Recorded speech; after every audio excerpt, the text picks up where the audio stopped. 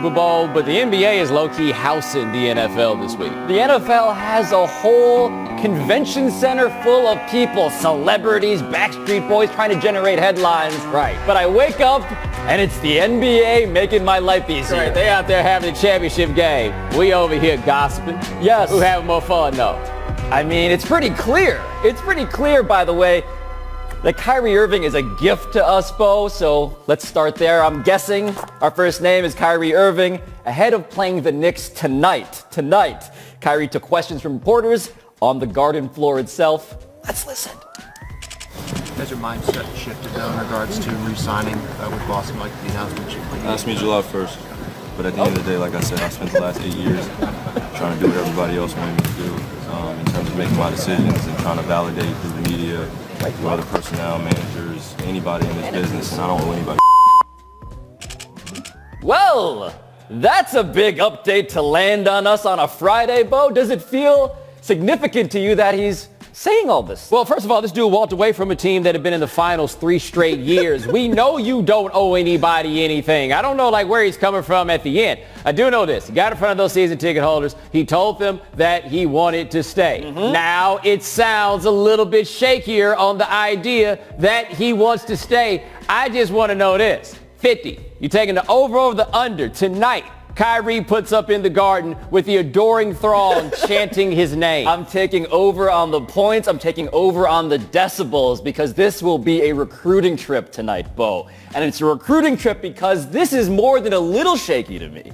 This is Kyrie Irving, whether it's planned or not, open up opening up the can of worms and throwing them in the air and letting it all cascade upon the media, who he resents. And if you resent the conversation, Kyrie, I do wonder, how long have you been in this league, right? Because if you wanted to make this go away, Bo, you say something like, I love the Celtics. I would love to stay here. We'll talk about it July 1st.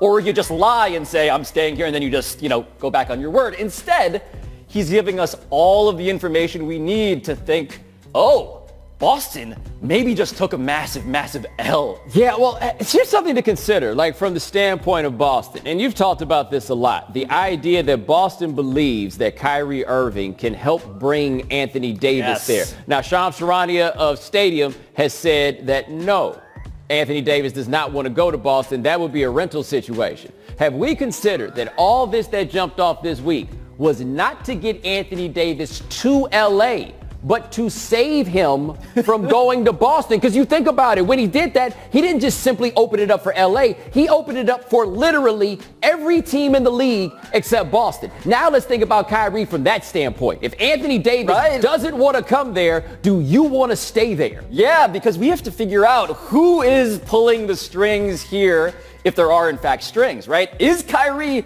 serving his friend Anthony Davis and giving everybody a soft launch of what this is actually going to look like come July?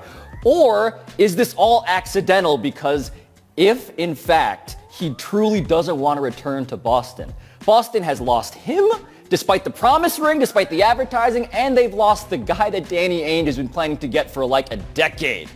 Yeah. A decade of Yeah. assets leading up to a thing that, dude, people in Boston are now wondering because they're mad, right? The other consequence of this, if this was not planned by Kyrie as such, you've now alienated Right. Boston. But hold on. My thing with Kyrie in Boston is it is entirely possible that him leaving is better for all parties involved. I'm not, Yeah. I'm not Yeah. sure that Jayson Tatum's development worked so well with Kyrie. We're seeing it this year. Jaylen Brown's numbers with Kyrie off the floor are much better than they are with Kyrie on the floor. Like in the end, this could work out for everybody. And the thing that may sink what Boston is trying to do, and it's not anybody's fault because the dude broke his leg. But as of right now, they ain't getting the return on Gordon Hayward. They're not getting it on the floor. They're certainly not getting it on payday. And Gary Washburn tweeted about this the other day, that they got people who ride Gordon every day in the crowd now. It can't be fun for him. And what's fun for us is that this is just the beginning. They haven't even oh, played the game tonight. And the next name, oop, that wasn't classy. Kristaps Porzingis. Hmm. Basketball world was shocked yesterday at the news of him being traded to Dallas. Pablo, you know this clears cap space, maybe for Kevin Durant and another max free agent. Was it a smart move by the Knicks? It is a smart move if the Knicks are being puppeteered by Kevin Durant. I was very, very afraid of this deal until it hit me. If Kevin Durant, via his manager, agent, business partner, Rich Kleiman, who has talked a lot about wanting to run the Knicks, being a Knicks fan, if they in tandem are orchestrating this, if they are puppet mastering, shadow GMing New York from Oakland, if that is happening, I am in because if Kevin Durant says I'm coming and people in the league, by the way, they are talking, they are saying to others that Rich Kleiman told the Knicks they're getting KD. If that's the case and KD has a second guy, Kyrie Irving. If that is the second guy, I love this. But if it's not, this is a nightmare. The great Shannon Penn said it best. The Knicks went blind seven on free agents. Do you know what that means? I get it. You don't know what that means. I get the anyway. gist. He went, yeah, but he went blind. They went. They're just like, look, we're going to clear this all out, and we're going to hope that we roll seven when free agency comes around. And I got to say, I don't think it's a bad play. The reason that I don't think it's a bad play is I don't think that they did themselves a disservice by getting Porzingis out of here because the idea of Porzingis has persisted and been much more visible than the actual production of Porzingis. Now, let's act like Porzingis is named something else, right? Hmm. Let's act like you've got a dude who's come in and has been hurt a lot, has been flashy, but hasn't really done anything. Is seven feet tall and averages seven rebounds a game. Has got a brother that works as his agent, and ever since he got to town, been steady complaining about what they don't like about the team.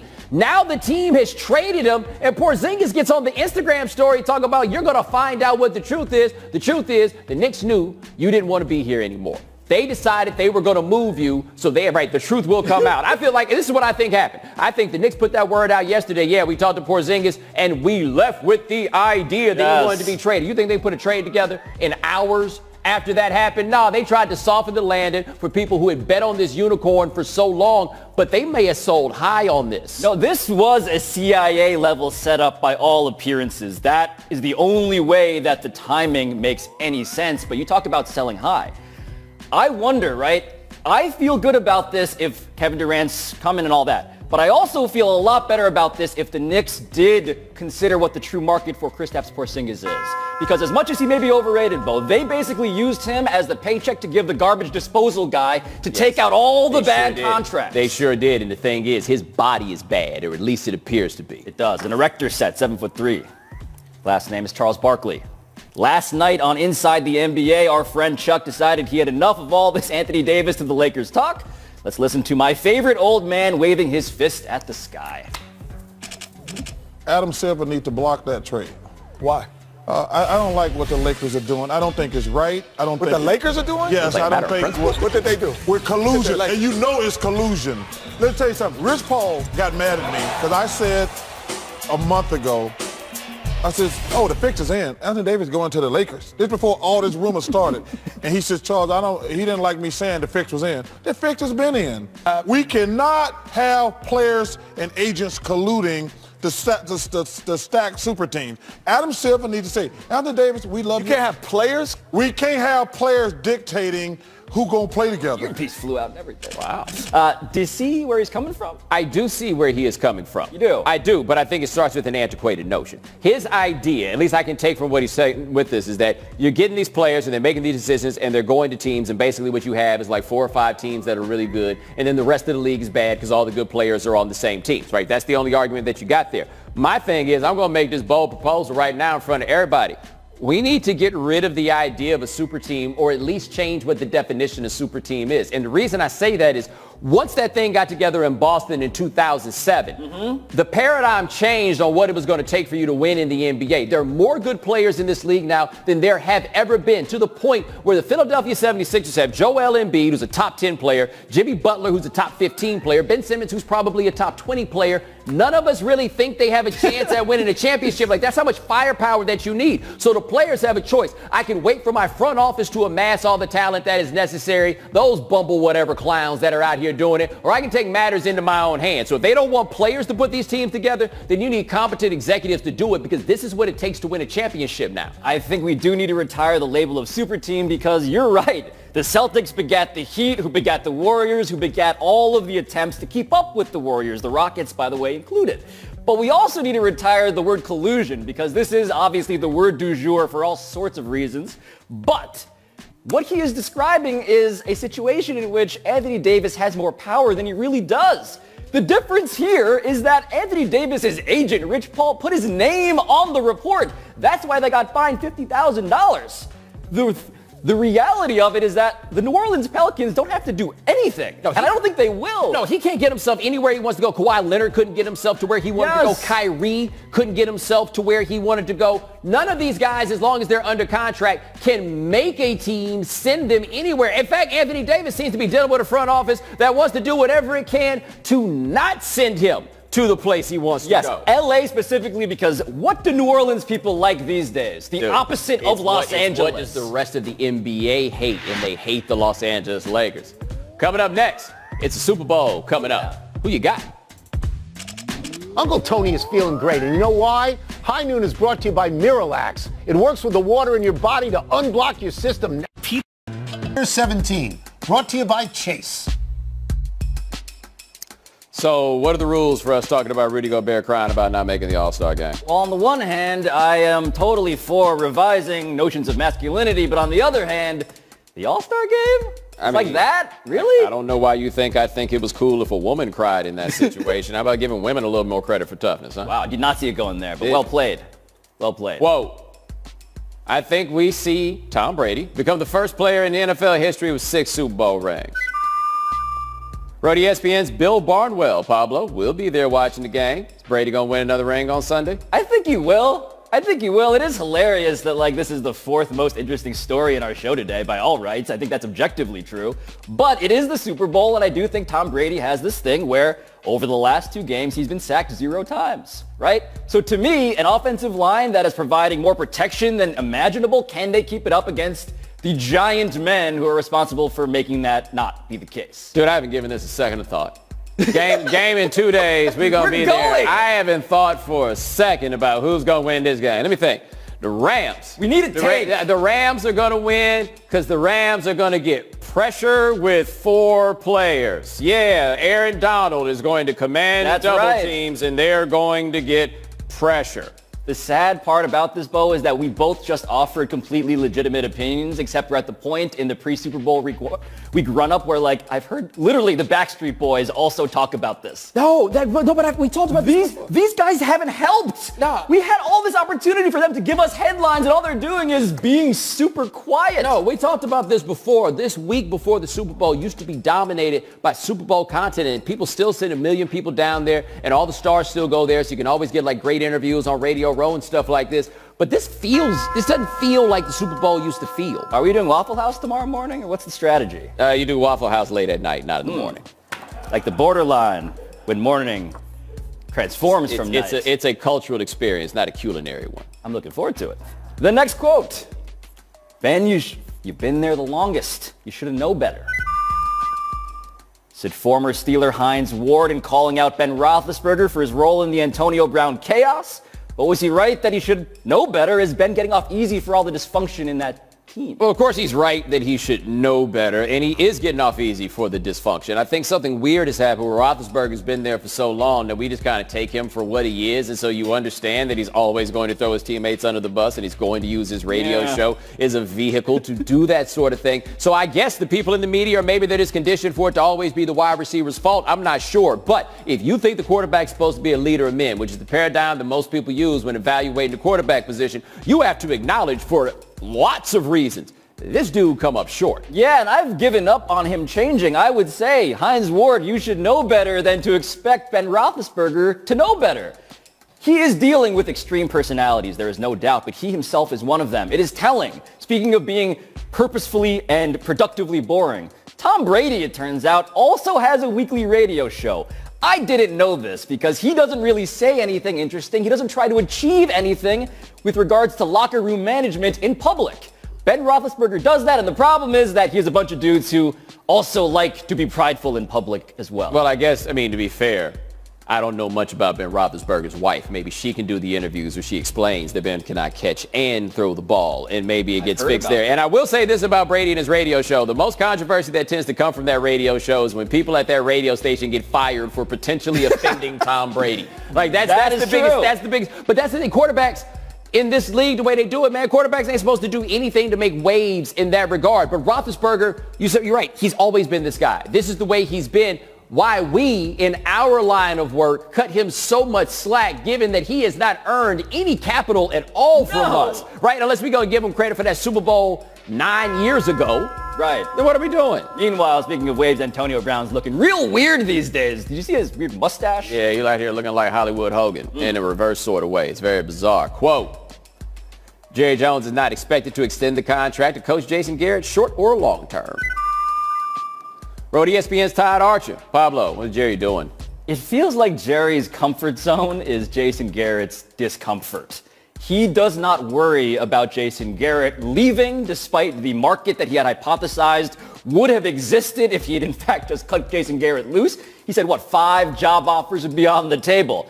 It doesn't feel like Jerry is very worried about other people offering a better situation than what he has in Dallas. Well, here's what gets me about this. He says that there would be five job offers if he was out, job offer if he was out there. But this also tells us that if the Cowboys are looking for a coach, they wouldn't be looking at Jason Garrett because that is what you say when you leave a dude there with only one year left on his contract. Maybe Kellen Moore is the heir apparent and this is all just like a grooming Sure. situation in order to move him up there. But it's a bad look for you to tell us that when the Cowboys were losing, we were tripping for saying that Jason Garrett was the problem. Then they do better than we expected and win a playoff game. And now you're looking at him and saying, earn your extension? What the hell are you talking about, man? I would be very confused if I'm Jason Garrett. I'd be afraid of Kellen Moore on a day-to-day basis next year. I'd be afraid of the Sean Payton pipe dream. But this mostly just ensures that next year is going to sound a lot like this year, constantly wondering when is he going to leave. Yep, something to talk about. Coming up next, Brown Brown back. Listen to the High Noon podcast, or listen to Bomani's, or listen to mine, or listen to Pablo's. Psych! He doesn't have. Salmon? All right, I know you don't know much about Atlanta, but do understand this. If I take you, tell you I'm taking you somewhere, and you see a jail and a bus station, mm-hmm. don't worry, it's okay. It's cool. That's fine. it's fine. Okay. it's fine. Okay, I'm going to keep my phone on silent. Today's number, 17. That's how many games LeBron James missed before returning to action last night. He put up 24, 14, and 9 to beat the Clippers, so how encouraged should Lakers fans be by this performance? I mean, he looked good. Um, he looked good. The team looked good playing around him. I mean, you just have to be happy to see that he's there. Like, like you got a great idea of the tangible difference. That time that he was out, that was one of those, if I didn't miss you before, I miss you right now sort of situation. So I guess, I mean, he had to be playing this game to get, some, get his legs under him before the Saturday night game on TV against the Warriors, right? That had to be what it was. I think that's part of it. I think he has a couple of goals, actually. I think number one, he wants to make the playoffs. They are currently ninth. And he wants to not be the eighth seed so as to avoid the Golden State Warriors. And again, they're currently ninth. They have a bunch of big games coming up, a lot of road games. They're playing good teams. So I think this is his opportunity, whether it's for the trade market, whether it's for potential teammates, or whether it's for his own sense of self. I just got to prove that, yeah, when I'm here, we're not actually the worst. Tell me this, LeBron coming back, does it make it easier or harder for Luke Walton to keep his job? I feel Right, like because if he comes right, because if he comes back and he balls, it's not gonna be like, hey, Luke Walton, way to get this thing together. Now that LeBron's come back, it's not gonna work that way. I feel like in Luke Walton's heart of heart, he knows that nothing that happens on the court is going to save him. yeah, you're done in this town, buddy. Yeah. He could be a quiet storm DJ though. He got love quite his, a voice. Love his dad. In closing, Happy Black History Month. I don't know if you wish people a happy Black History Month, but it's a happier Black History Month because the NHL has joined the celebration. What? No, seriously, they have a traveling museum and everything. A museum? Yes, they have a traveling museum. Uh, It's right travels? here. Yeah, I'm actually. I'm actually very curious about it. If it makes its way to New York, I would like to come check it out. Like I read something they were going to talk about like a hockey league in Nova Scotia from previous centuries because the history of Black Nova Scotia is actually very interesting. So like, good for them. Uh, But I have a question. Yes. How many uh, black NHL players are there? Because that's where my brain It's, it's funny that you mentioned that because I was wondering what the critical mass of black participation had to be. Now, if you look on the wall, we got three dudes here. There's my man Suba, uh, Subban. Yep. That's Seth Jones over there. Yep. Oh no, that's Buffalo. Oh, that's Seth- that's yeah, and that's and that's son, Wayne right? Simmonds. Yeah. Now, but okay, but here's the thing though. The AP wrote a story about this, and they said there are roughly 20 black people in the league, and I'm like, what the hell is roughly? Does that tell me that it was like a newsroom Wait, full of people, wait. like a, a newsroom full of people that were like looking at every website and trying to count out who the black people were, and then if they needed a tiebreaker, they're like, hey, Tyrone, leave that mail card alone and come over here. We need you some very important business. We need an expert witness to evaluate whether this Pantone color Yes. justifies being In fact, in fact, as they made that count, did they count my man over here? Did they count Buffalo? when Right. they made the count? Right? Because there's a, you know, maybe he's from the Yeah. islands, and Right. what are the islands? Right, are, that we, are, we only, are we only giving him a percentage in the roughness of it? Right, and also when we get to it, what is race anyway? This is a Right. real existential concept. By the way, don't all these dudes be fighting? That seems to be a common thread. Hmm. In closing, no- nobody in here knows. it's a cold weather. It's a cold weather city. Where the camera crew at? there What are, do y'all watch? There are no expert witnesses A yet. man on the Brontosaurus camera. You don't watch no hockey? In closing, I would like to salute a New Jersey resident who makes Vlade Divac look like Hollywood's greatest stuntman. Let's go out to Woodbridge and marvel at this performance. So this is a guy who happens to be uh, currently uh, charged for insurance fraud. Who is he? Is- wait, wait, is he doing a Jason Kidd? Is this a Jason This Kidd? is the solo Jason Kidd. That was a bunch of ice cubes that he knocked to the ground. Unfortunately, no Tyshawn Taylor, as in Jason Kidd's case, to even help him with this. Wow, you remember that. I Good. do remember that. And there it is. My neck. Down My goes, down goes. My neck and my back. uh, by and and his crack somewhere there. Uh, but there is an independent contractor, Bo, at a place that he stopped in, and this could be genius if not for that pesky you camera. Got, you, no, you got to be dedicated to the scam. Did you watch that Dirty John thing on Bravo? I did not. That man was jumping in front of cars, detoxing off of dope. That's the dedication to the scam you got to have. what happened to jumping in front of cars? Yes. That would no, work. That's, that- that's what I'm saying. If you're going to do it, do it, damn it, do it. Highly questionable.